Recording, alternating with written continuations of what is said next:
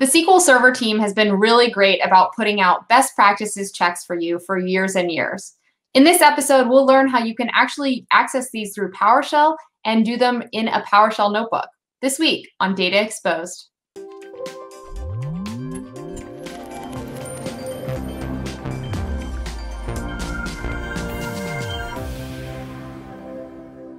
Hi, I'm Anna Hoffman, and welcome to this episode of Data Exposed. Today, I'm joined by Aaron Nelson.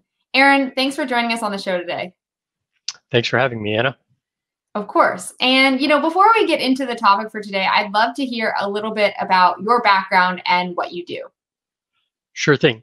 So, I'm an Azure Cloud and AI consultant here at Microsoft, and I'm a pretty huge fan of uh, automating SQL tasks with PowerShell and other automation tools. And uh, uh, came here to show you guys a little bit of uh, things that are available to you now. Awesome, great. And I'm looking forward to learning about this because I don't know a ton about the SQL assessment API or some of the capabilities. So I thought it might be nice to start with a brief overview of kind of the best practices history and kind of how we evolved to where we are today, which you're going to show us. So do you think you can start by explaining that? Sure thing. Yeah. So to give you just a little bit of background before we dive in, uh, what we're going to be looking at today is the SQL assessment checks, which is an evolution of what uh, originally started out in uh, the best practices check of the SQL Tiger team. And uh, they've evolved it uh, beyond just being a bunch of T-SQL scripts. And uh, they've now got it so that it's in PowerShell so that you can go ahead and run it as a whole or run just individual checks, however is best for your environment. Really easy to scale it uh, for, for your environment. Awesome, cool. So seems like we have this thing that, you know, obviously the experts on our team came up with and it allows people to check and see if they're using the best practices and kind of assess their servers. Um, so I'd love to take a look if you have something to show us and, and we can get right into it. Yeah, absolutely. I've got a uh, PowerShell notebook right here for you, and uh, we can start running through it. Awesome. So these assessment checks are already built into the SQL Server module, and uh, that you can pick that up on the PowerShell gallery. You'll want to go ahead and install that module, and then you, these commandlets that you're about to see are going to be available to you right there. Uh, there's uh, two main uh, commandlets that we're going to talk about today. the first one uh, that we get there is the invoke SQL assessment commandlet. And uh, just a little bit of how you use that is you take your instance, uh, your SQL Server instance or number of instances that you want to assess, and you uh, pass it into by using the pipe uh, character into the SQL assessment commandlet, and you let it go run off and run its check and tell you what it thinks about your SQL instance. I'll go ahead and kick this one off right here. Uh, that's going to run for a few seconds. Uh, it runs a list of uh, predetermined checks that the Tiger team has developed over the years. And uh, even though it's doing a list of checks that uh, it thinks are important, uh, it's important to also note that you can customize this and add your own checks to what the output is here as well. Awesome. That's cool. And I can use this to run these checks against just my SQL servers, or does this also apply to like a managed instance? As of right now, what you can do is your on-prem SQL servers, you can do all of those going back to SQL Server 2012. And then for your Azure SQL Managed Instance, you can run those today, right now with the tool as it is, and get those assessment checks there as well. Awesome. So one of the uh, one of the checks that I want to bring your attention to is uh, just an easy one to explain. It's just the latest CU, and that's one thing where, you know, uh, with things being in CUs these days and uh, no longer working off of service packs, uh, you can and them and them coming out more rapidly, you can get behind and not even realize it that there's a new version out. So when a new version is out, uh, you know, a few days later, the new version of the module goes out and updates this information with what the latest version is, and uh, you can run the check, and it'll tell you if you're out of date, and if you are, what the next version is that you need to bump up to uh, in order to be able to uh, stay up to date. There are, in addition to running the instance level recommendations, you can also run this just at a uh, database level if that's what you need to run. Um, and there are different rules that can be run. Obviously, there's some at the instance level that would run if you're running an instance level check, and then database level checks uh, if you're running just down here at the database level. If you want to run just that uh, check to see if you're against uh, running against the latest CU, uh, you can just do that right here.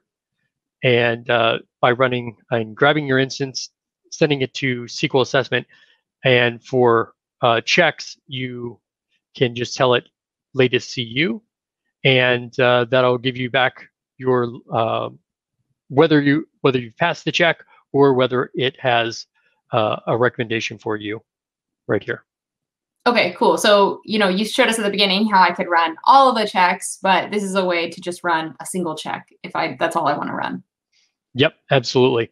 So obviously with uh, one of these commands where you're checking the latest CU, you're probably not going to want to run it against a an individual instance of SQL Server. And they've uh, got some various options. Uh, if you're familiar with registered servers or the um, the central management servers, you can actually take the output of that, uh, pipe it into your uh, in, invoke SQL assessment command, and run those checks. And then even further along from that, you know, if you're doing these on your a regular basis and you're going through and you're fixing things, uh, you'll probably get to the point where you fix things and uh, now you want to see, all right, what's the I've, i know I've solved a couple problems, but what's my my list of things I still have to go? And also, you know, for the boss, I kind of want to show, hey, you know, look, I, have been fixing things around here. Right. And to that point, they have also included the ability in these uh, commandlets. They have this option here called flatten output, and that's just a simple switch parameter. And when you add that, it converts the way that it's putting the output uh, out to the uh, pipeline to a, it it's basically telling it, hey, I'm going to write it to a SQL server. I'm going to save this. So if you want to do something like that, it's very easy. You just use the write SQL table data commandlet that's also available in the SQL Server module and tell it your instance and database name and schema name and table name that you want to write your results to. And it'll go ahead, run the checks against everything in your, in this case, looking at your central management server, get all those assessments done, take all that output, put it into your SQL Server database, and then you can you know build a Power BI report for, on it from there, or do whatever it is that you want to do with it. Gotcha. Cool. So that's the bulk of what I had to show for you today. I just want to help people be able to do the best practices checks against their SQL Server, take some of this knowledge that is out there available for them free of charge, and be able to get to work on it and start solving problems. Sometimes ones you didn't even realize you had, they're just lying out there.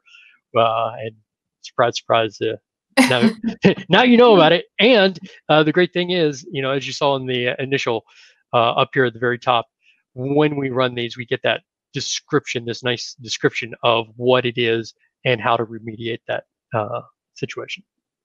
Awesome. Well, thanks, Aaron. This has been really informative. Uh, personally, I've learned a lot. Um, I'm sure folks are familiar with the Tiger team and some of these advancements, but maybe they haven't seen how you can do it in PowerShell um, and how we're making it available in Azure as well. So thanks for coming on the show. I really appreciate it. You know, just one question as we close out, like what's win- one tip you have for folks as they like get started with this SQL assessment? Uh, so the biggest tip is probably to just go ahead and go over to the SQL Server samples and uh, take a look at the, uh, you know, a lot of information there, uh, links to the doc page, especially if you want to know how to customize these, you can customize them in JSON files. Uh, and they also have notebooks, uh, one for a very simple assessment just to get your kind of feet wet with them, you know, practice a little. Um, and get started. And then a tutorial one that's a little bit of a deeper dive and really dive into uh, all the different ones uh, that you might want to do, and some of them that you won't, but uh, you know, really give you that full idea of the scope of what's available out there. So uh, definitely go in and take a look at what's available on the SQL Server samples GitHub repo is uh, probably my biggest tip here. Awesome. Well, thanks so much, Aaron. We will put a link to this in our description. So for our viewers, please be sure to check that out and run through the notebooks that are already out there today. And, you know, Aaron, again, thanks for joining us. For our viewers, if you like this video, please like this video, leave us a comment if you learned something, and we hope to see you next time on Data Exposed.